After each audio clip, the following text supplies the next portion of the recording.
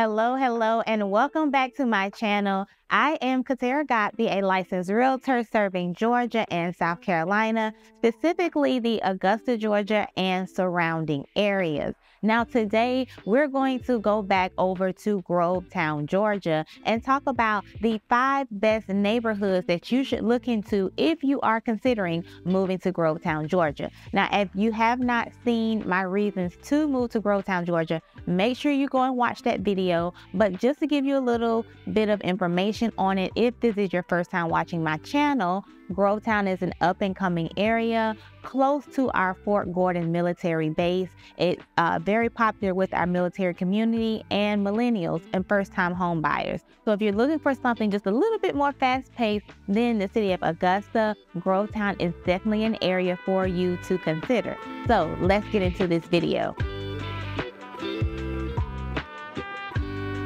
So the first subdivision that we're going to get into is going to be the Crawford Creek subdivision. Now this is a very nice community. It has several different parts within the community. So within Crawford Creek, there are also other subdivisions. Now they still have new construction going on in this subdivision, but of course it is already established. Now, what I like about this community is that it is very, even though it's a little large community, it is strong knit and the community is very close. Now, for amenities they have to offer, they have a swimming pool, community pool out there. They have a playground. Um, and then, of course, they have sidewalks for walking.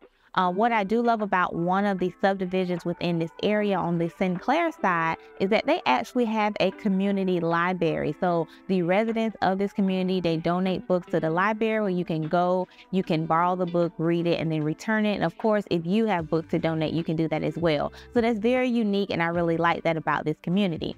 Now, in this community, you can find ranch homes and two-story homes going from a three bedroom all the way up to five bedroom. Now with pricing, it starts about 350K and it goes up to the high 400. Now the second subdivision that we're going to talk about is going to be the Key Larry subdivision. Now, I love this subdivision because it's actually centrally located within Grovetown. So you're very close to schools. Certain schools you can actually walk to if you desire. Um, it is very close to shopping and dining. They also have nice, large ranch homes in this subdivision. They also have two-story homes, and then they also go from three bedroom all the way up to five bedroom. Now, for amenities that they have to offer in this subdivision, they do have a community pool. They do actually have walking trails out there. And then they are also still building out there. So you still have time to look for you the perfect home out there. Now, when it comes to pricing, it does start in the lower 400s to mid 400s. The third subdivision we're going to get into is going to be Canterbury Farms.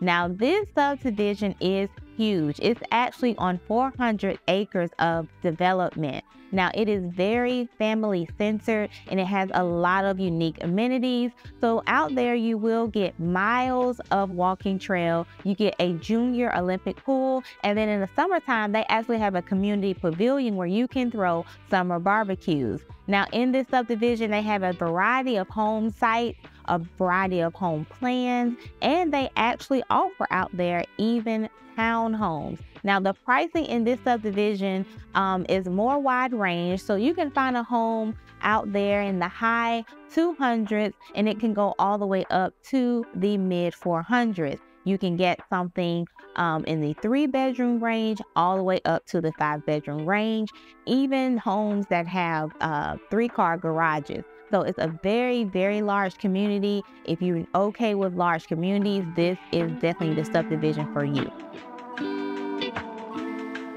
And moving right along to our fourth subdivision, that subdivision is going to be Wright Farm. Now, I love this subdivision because it's very unique. It is actually the first planned agricultural community within the CSRA area. They are very encouraging in using farm to table practices. They actually have a working farm operation within the neighborhood that are residents that the residents can use and they are very focused on healthy living and healthy lifestyle. So if you are about healthy living, clean eating, this is definitely definitely the subdivision for you. Now, also when it comes to purchasing a home in this subdivision, they actually have four different builders building out there. So that gives you a variety of plans to choose from along with a variety of homes. Now, for amenities, they have a dog park out there, they have a playground, and they also have a community pool. Now, the homes go from four bedroom to five bedroom, and prices start about the mid 300, like the 350 range, all the way up to mid to high 400s. Now, this is a rural neighborhood, but you are so convenient to the city that you don't miss out on anything. Our final subdivision is going to be Jackson Heights.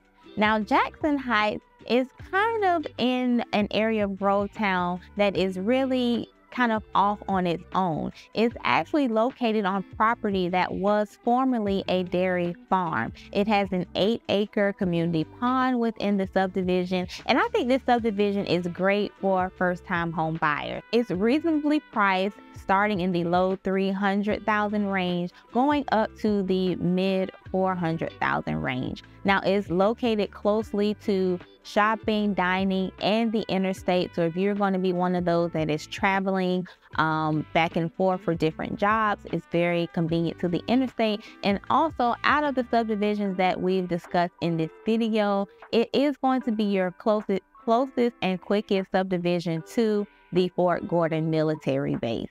Now out here they have homes going from three bedroom all the way up to five bedroom. You can get ranch style or two story as well.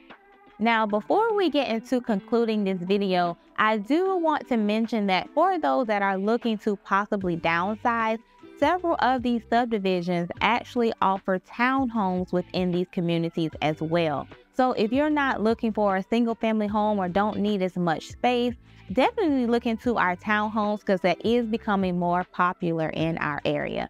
Now, I hope this video was helpful for you. I hope it gave you some insight on subdivisions to start looking into if you are considering moving to Grovetown, Georgia. Of course, make sure you hit that subscribe button and the notification bell so you know the next time I drop my new video.